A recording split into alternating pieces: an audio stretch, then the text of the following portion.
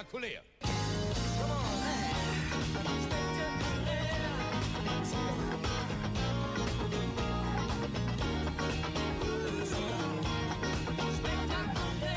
Sie ist meine Schwester und trägt ein Messer. Ja, so spektakulär sind Mike und ich.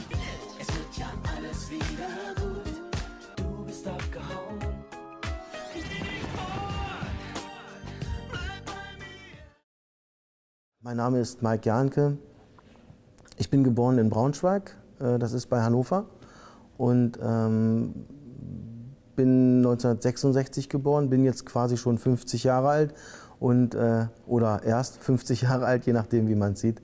Und äh, bin in der schönen Stadt Braunschweig geboren. Wir sind aber dann nach Wolfenbüttel gezogen. Ich habe dort meine Kindheit verlebt. Ähm, ich habe eine große Familie. Wir haben, äh, oder meine Eltern haben sieben Kinder gezeugt. Ich bin einer der, dieser Kinder, der zweitjüngste. Und ich habe noch einen jüngeren Bruder und alle Geschwister sonst äh, sind älter als ich. Äh, sechs weitere Geschwister, wie gesagt.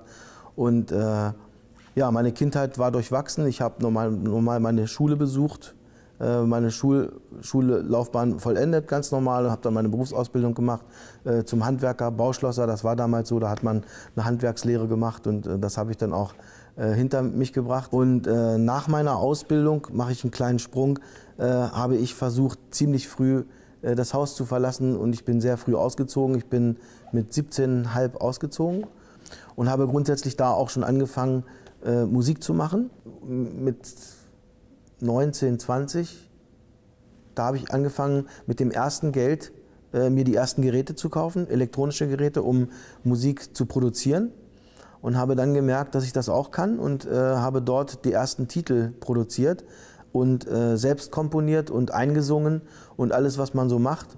Und diese, diese Ergebnisse habe ich dann versucht, irgendwelchen Menschen vorzustellen und habe auf diesem Wege viele tolle Menschen kennengelernt, die ich heute noch kenne und die meinen Werdegang auch kennen.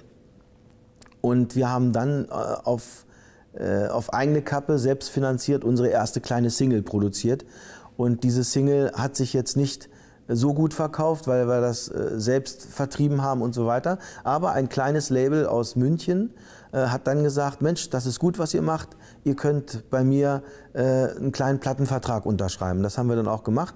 Und dementsprechend haben wir dann unseren ersten Erfolg gefeiert mit unserer eigenen Single, die dann auch in Tanzschulen erstmal verkauft wurde. Aber für mich war das der Einstieg in die Musikwelt und für meinen Partner, den ich damals äh, noch im Musikbereich hatte. Und äh, aus dieser Situation heraus sind wir dann ähm, peu à peu immer zum, zum etwas steileren Erfolg gekommen, bis wir irgendwann äh, dann gemerkt haben, wir müssen einen Hit machen. Und äh, über diese Schiene bin ich dann quasi nach Hannover gelangt, zu einem Bekannten. Und der hat die Möglichkeit gehabt, gehabt im, im Tonstudio äh, uns dort einzumieten, dass wir dort richtig produzieren konnten. Und wir haben uns dann ausgetauscht und er war sehr gut in, im Textbereich und ich war sehr gut in der Komposition. Und somit haben wir uns da äh, ergänzt und haben dann gesagt, passt auf, eine Hand wäscht die andere. Wir, machen, wir, legen, wir legen zusammen, wir machen alles zusammen, wir machen eine Gruppe. Und aus dieser Gruppe ist dann dieses Thema spektakulär entstanden und äh, das ging so schnell, dass uns das fast überrumpelt hat. Wir hatten irgendwann eine tolle Idee, wir hatten ein Thema ähm, Gewalt in der Schule das, äh, der Hit war ja meine kleine Schwester, sie trägt ein Messer und so weiter. Das äh, war damals unser, unsere goldene Schallplatte, die wir dann hatten. Das waren viele, viele verkaufte CDs. Und äh, wie es dazu gekommen ist, ist, ist ganz einfach. Ein Bekannter von äh, meinem Musikpartner, der hatte äh, eine, einen Sohn oder eine Tochter, ich weiß jetzt nicht mehr ganz genau, und die musste jeden Morgen fünf Mark am Schultor bezahlen, damit sie zur Schule darf. Und das hat sie irgendwann ihrem Papa erzählt und der hat gesagt, das ist doch unmöglich, wo gibt's denn sowas? Und äh, das gibt's halt in Deutschland.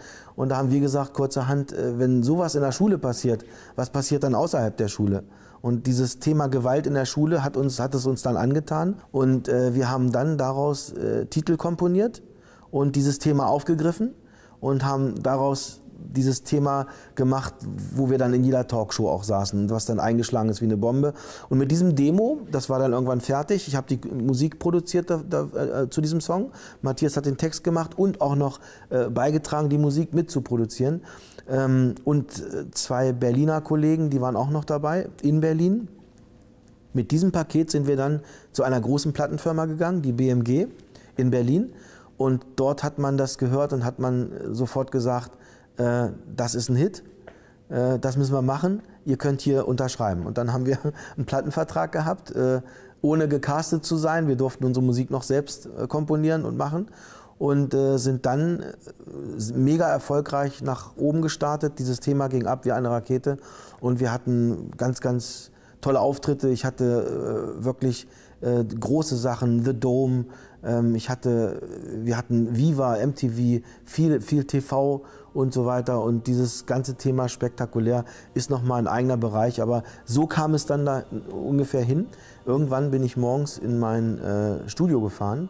Ich hatte so ein kleines äh, Studio angemietet, wo ich meine Sachen drin hatte und bin dann äh, auf, der, auf der Landstraße gefahren und bin durch, durch äh, ein, also eine blöde Verkehrssituation äh, in den Gegenverkehr gefahren, morgens um 8 Uhr.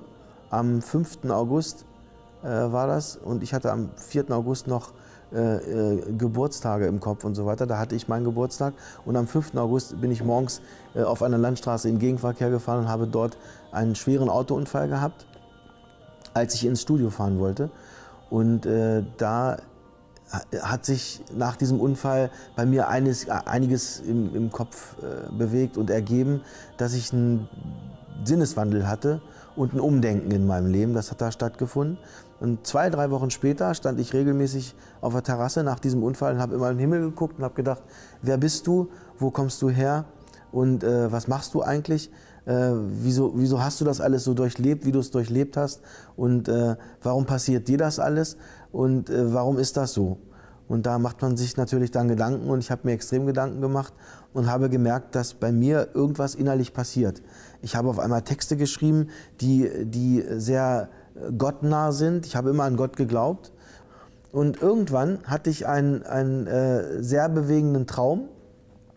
Und dieser Traum hat quasi dann wirklich den Schalter umgelegt. Das war der Schalter, wo ich heute sage, das ist die Situation gewesen, wo, wo bei mir der komplette Mike anders wurde. Und ich äh, kann diesen Traum nur so erzählen, ich war äh, in der Nähe einer großen Stadt, nicht in dieser Zeit, sondern in einer Zeit, wo noch Pferde und Kamele in die Stadt reinfuhren und reingeritten sind.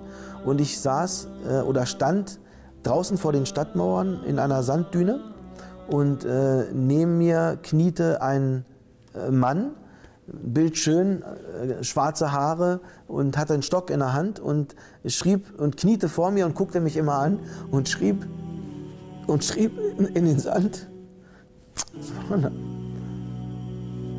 Sachen, die ich nicht lesen konnte. Everything I have, everything I own, everything I eat is thanks to you. Und ich habe es nicht verstanden. Und dieser Traum äh, äh, bewegt mich heute noch. Und äh, hat mich immer angeguckt und hat mich gefragt, ob ich das verstehe oder nicht verstehe. Und dementsprechend habe ich äh, dann in diesem Traum nichts gesagt. Ich bin einfach aufgewacht und habe geweint. Zwei Stunden. Zwei Stunden, zwei Stunden geweint. Und habe mir die Decke über den Kopf gezogen. Und dann habe ich einen Telefonanruf bekommen und habe dann äh, am Telefon gesagt, dass ich nicht sprechen kann, weil ich gerade einen Traum hatte und ähm, dieser Traum bei mir quasi den Schalter umgelegt hat. Als ich diesen Traum erzählt habe, den Menschen danach, haben sie zu mir gesagt, das wäre ein islamischer Traum gewesen und das ist irgendwas, was mich da jetzt seit mehreren Wochen schon bewegt hat, ist jetzt da in diesem Traum wahrscheinlich ein Anzeichen dafür, dass man dass man sich in diese Richtung bewegen sollte. Da ich da ja eh, eh schon war, habe ich das vertieft und bin dann kurzerhand nach Aachen gefahren Aachen ist das islamische Zentrum für die Muslime in Deutschland und habe dann äh, dort die Shahade gesprochen, weil ich das dort machen wollte. Ich wollte das richtig offiziell in Aachen machen und habe, bin dann zurückgekommen und habe mich dann in muslimischen Kreisen bewegt, bin in die Moschee gegangen und habe gemerkt, dass mir das alles sehr, sehr gut tut und habe somit meine alte Zeit, diese Popstar-Zeit, diese, dieses dolle Hoch, was man hatte mit Geld verdienen und, und so weiter, äh, habe ich dann Revue passieren lassen und habe aber gemerkt, dass es eigentlich keinen Nutzen mehr hat.